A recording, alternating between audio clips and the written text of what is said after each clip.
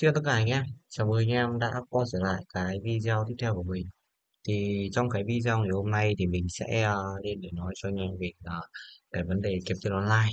Và cụ thể ở đây đó là đầu tư, nhưng mà không phải là hướng dẫn hay là cũng không phải à, chia sẻ cái gì mà mà chỉ nói đây là kinh nghiệm và tâm sự với anh em đôi chút về cái vấn đề này kiếm tiền online thì như cái tiêu đề mình nói với anh em rồi, chỉ những cái bẫy anh em nhé những cái bẫy trong cái việc là anh em tham gia anh em đầu tư kiếm tiền online thì ai cũng biết thì kiếm tiền online nó cũng bao gồm đầu tư trong đấy thì mình ngày mai thì mình chỉ nói về vấn đề đầu tư thôi nhưng mà cụ thể đây là những cái bẫy những cái bẫy tâm lý anh em ạ. Bởi vì đầu tư thì chủ yếu là anh em chết là anh em chết bởi cái tâm lý anh em nhé.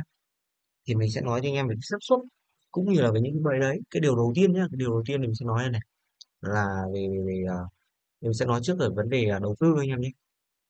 Đấy. Đầu tư được chưa? Thì nó có nhiều cái. Ví dụ như là là ví dụ anh em dính cái bẫy này là anh em sẽ hay kiểu cái dạng là oni. Đấy đầu tư oni anh em nhé. Là anh em có bao nhiêu thì anh em vào hết một vố như thế ví dụ anh em à, tôi sẽ lấy một cái ví dụ cụ thể này. nó sẽ chia thành nhiều mốc này một này hai này ba này đúng không? Nó sẽ chia thành ba chặng. Nó sẽ chia thành ba chặng này và anh em cứ mỗi một chặng thì anh em cứ chia ra ví dụ vốn anh em có như thế này như thế kia thì anh em cứ chia ra chặng một như thế này, chặng hai như thế kia chặng ba như thế kia. Đấy anh em chia chặng sẵn như thế. Nhưng mà nhiều anh em là cứ một phát vốn luôn một phát một thôi. Đấy vốn anh em vào hết một một một vốn luôn. Đấy chính là cái tâm lý đầu tiên anh em nhá tâm lý gọi là tâm lý vội. Được chưa? Thế là người ta gọi là cái tâm lý vội. Vội như nào vội kiếm tiền anh em đấy người ta gọi là tâm lý vội kiếm tiền đấy thì anh em phải chú ý cái vấn đề đầu tiên. Còn cái bẫy thứ hai này cái bẫy thứ hai là thì tôi thấy là cũng nhiều anh em dính lắm anh em ạ. Nhiều anh em mình dính vào cái này mình ngày trước mình cũng bị dính rồi anh? Em đấy cái vấn đề thứ hai đó chính là về cái vấn đề là kiểu là mình không biết nhưng mà mình cứ nghĩ nó là như thế này mình cứ nghĩ theo ý mình đấy kiếm tiền online thì nó không có quy luật gì là nó giống mình hết anh em nhé.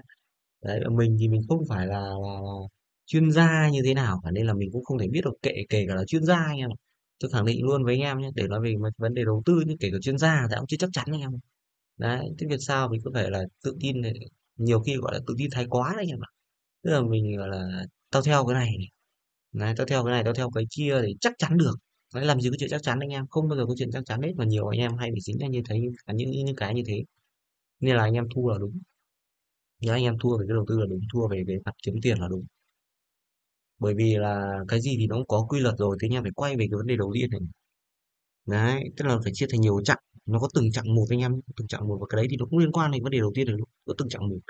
Đấy cũng là cái vội anh em ạ. Và cái thứ hai mình nói là cũng là cái tâm lý vội. Và cái tâm lý vội ngày trước mình cũng bị rồi, mình cũng bị đến tâm lý vội rồi. Tức là có bao nhiêu thì mình cho hết cho nó nhanh anh em ơi, cho nó nhanh. Ví dụ như anh em để mà anh em kiếm ra được một cái số tiền cụ thể đi thì anh em phải bỏ ra một cái thời gian cụ thể nào đấy. Ví dụ như à, trong vòng một tiếng thì anh em kiếm ra được từng này đúng không? À trong vòng khoảng tầm 5 tiếng thì anh em kiếm ra được từng này nhưng mà anh em lại cứ thích thu hẹp cái thời gian lại. Đấy là anh em lại muốn à, chỉ 30 phút hoặc là một tiếng thôi thì anh em đã kiếm được từng này rồi. Đấy thì như vậy thì anh em dễ thua bởi vì người ta chia ra cái chặng ra anh em phải hiểu một vấn đề nhé nó chia thành nhiều chặng nó chia thành nhiều chặng thì để làm gì? Đấy để ít cái rủi ro hơn anh em nhé để nhớ may cái rủi ro ấy. Thì mình cũng không không không ngã được thì mình vẫn có thể đứng lên được. Nhưng một khi anh em mà all in một phát nhé anh em chơi đúng một một, một phát thôi. Anh em dồn hết vào một phát thôi thì thua phát là anh em gục rồi.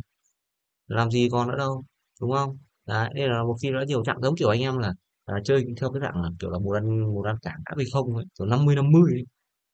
và trong đã xác định trên kiếm tiền online đầu tư năm mươi năm mươi thì không nên thì nó là cờ bạc anh em ạ đấy để mà nói năm mươi năm mươi thì nó là cờ bạc rồi nhưng mà nếu là để nói về đầu tư để mà nói về đầu tư thì nó phải là tám mươi hai mươi hoặc là chín mươi mười.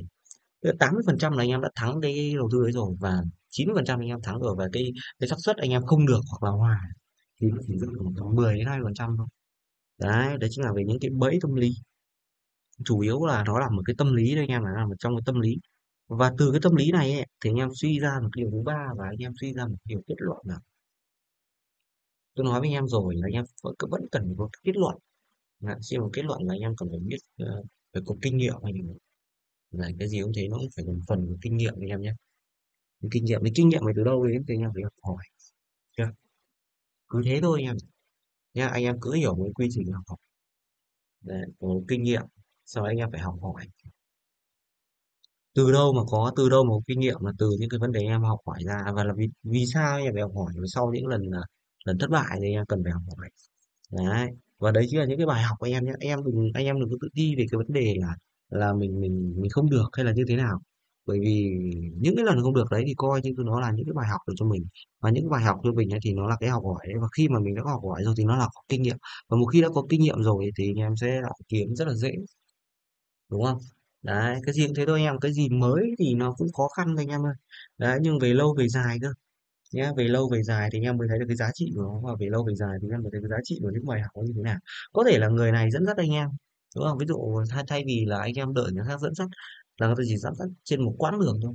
Đấy thực chất là, là kiểu là người ta làm mình ăn đấy kiểu mình ăn sẵn đấy.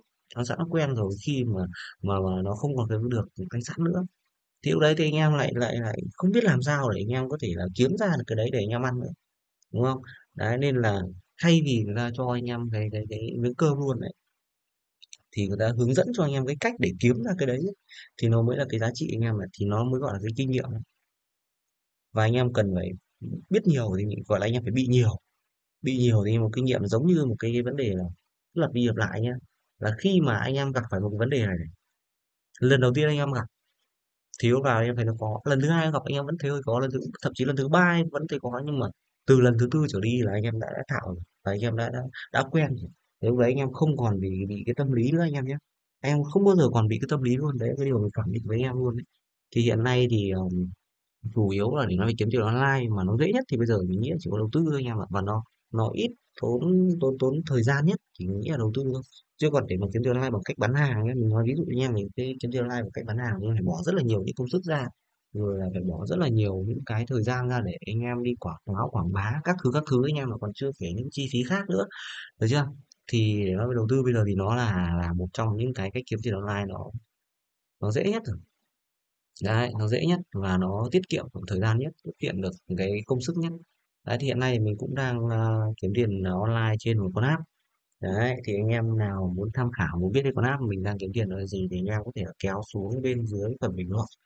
Đấy hoặc bên uh, à kéo xuống bên dưới mô tả. Còn nếu như bên dưới mô tả không có ấy, thì anh em sẽ kéo xuống phần bình luận anh em nhé. Một hai phần thì nó sẽ có. Thì anh em kéo ở đấy thì anh em có thể là vào anh em tham khảo thử con con con con app cái cái trang web mình đang dùng nó là cái gì anh em xem mà ok không thì anh em có thể vào, anh em kiếm tiền online hàng ngày cùng với mình em nhé.